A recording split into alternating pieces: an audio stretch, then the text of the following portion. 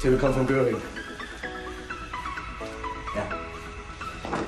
Er schreibt, Herr Führer, sind Sie einverstanden, dass ich nach Ihrem Entschluss in der Festung Berlin zu verbleiben, als Ihr Stellvertreter sofort die Gesamtführung des Reiches übernehme?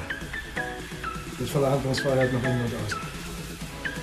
Falls bis 22 Uhr keine Antwort erfolgt, nehme ich an, dass Sie Ihrer Handlungsfreiheit bereit sind. Ich werde dann zum Wohle von Volk und Vaterland handeln.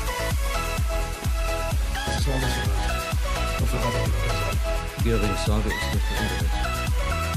Wenn unsere Kommunikationssysteme zusammenbrechen und das kein Stimmtag geschehen kann, sind wir in der Tat in der Welt Befehle und Anweisungen können dann nicht mehr übermittelt werden. Ich sehe das anders. Göring will die Macht an sich reißen. Diese die Schurke, die sich am Obersalzberg um ihn rottet, war mir noch nie geheuer.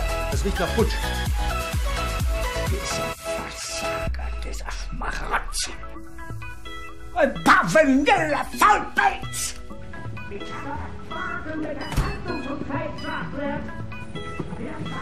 Tag, Frau Lemmer. Herr Speer, wie sind Sie denn noch nach Berlin reinkommen? Einfach weiß nicht. Aber ich muss noch einmal zum Führer. An Ihrer Stelle würde ich damit lieber warten. Was hat er da das gemacht? Allein dafür müsste man ihn an die Wand stellen!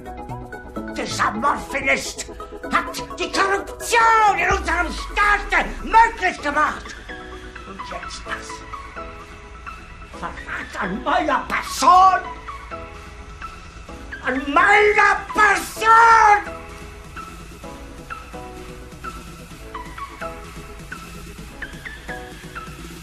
Ich will, dass Göring sofort entmachtet wird und aller Job aufgibt. Für den Fall, dass sich der Krieg nicht überschwere, ist der Mann auf der Stelle hinzurichten.